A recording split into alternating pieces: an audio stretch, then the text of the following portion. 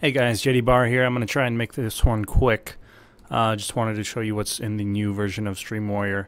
Uh, if you go to edit scene, you can see I added the option to, uh, there's a time to live button, so you can change how long your alert's going to stay on stream.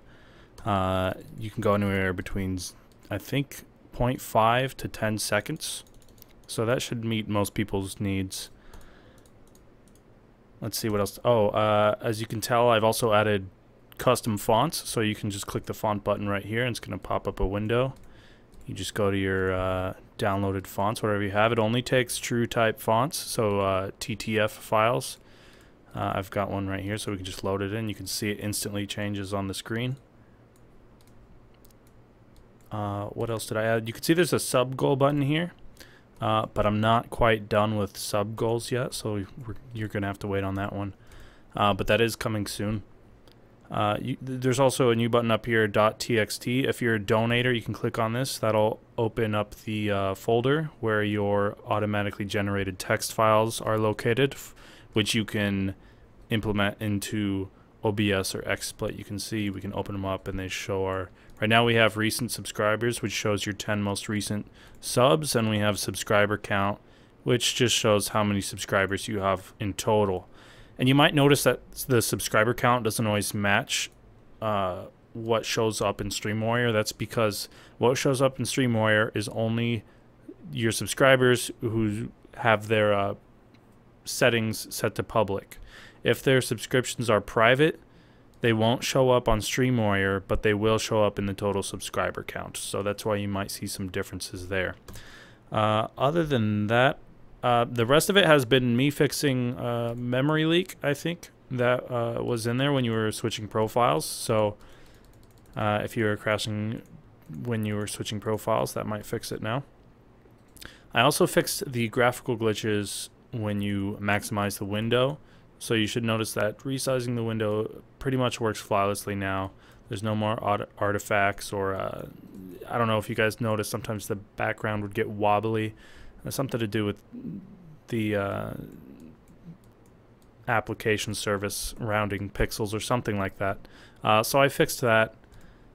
Yahoo! Sub goals probably coming next week. I looked into um, the sound system. Right now we're still using OGG's. Yahoo! Oh, I should bring that up by the way.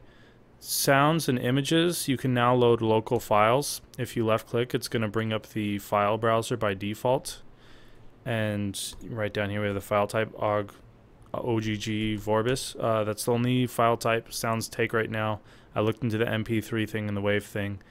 Uh, overhauling the sound system is going to be some work because most of the uh, third-party libraries i find are a little sketchy and, and crash and mp3 support probably won't happen due to licensing fees. Uh, so that's probably not coming anytime soon. Sorry about that subscriber image you can still do PNG, JPEG, and GIF. And you can you can just click the file type there. You do have to be a donator for animated GIF, but it's all still there. If you want to still access the old method of adding sounds and images through URLs, you could just right click the buttons and the old dialog box will pop up for you to put in a URL, but I, I recommend going with the local version anyways. Uh, so yeah, waiting waiting on the sound system overhaul. Uh, that's not a huge priority right now. There's free converters for MP3 to OGG or Wave to OGG. There's also you can also just use Audacity. That pretty much works. Uh, what else was I gonna say? I think that was it. Oh, I was also mentioning the PayPal donation alerts. I looked into it. Uh, it's gonna be a little bit difficult because PayPal needs to the way their validation works. They send you uh, a request, and you have to reply to that request, and then they validate it. Uh, but that that would imply that StreamWarrior is always listening for these requests, which it's not. And to program that in would be a little bit troublesome.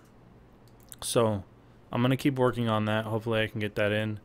But I'm also really looking forward to YouTube's fan funding because I think that's going to be the way to go. But I'll let you guys know uh, when that works out. I'll keep you guys posted on the PayPal and Patreon donation alerts. Hopefully, I can get that working sometime soon. But sub goals, I think, is the number one priority right now. So I think I did the opposite of keeping this short and did what I usually do and kept rambling. So I'm, I'm going to cut myself off here. Enjoy the new version, guys. Let me know if you have any bugs or crashes in the comments. Like and subscribe uh, if you want to stay posted on new updates and new features to Stream Warrior. Uh, other than that, oh, I rehauled the website, so feel free to check that out. It looks super awesome now. Uh, okay, that's everything. Uh, signing off. Adios.